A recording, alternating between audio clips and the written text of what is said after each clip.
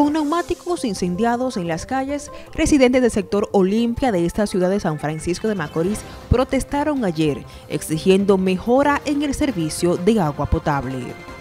Porque es con, es con problemas que ellos no mandan un chin de agua con rebuse. Y si ellos quieren rebuse, rebuse vamos a tener.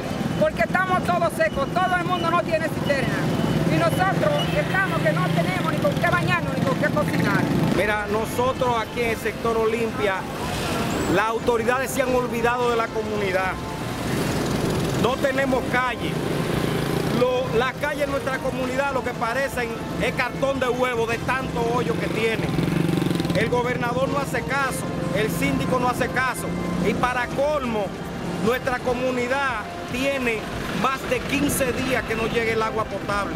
Moradores en la zona además se quejan por el mal estado de sus calles, sumado a la falta de agua que aseguran padecen desde hace más de 15 días.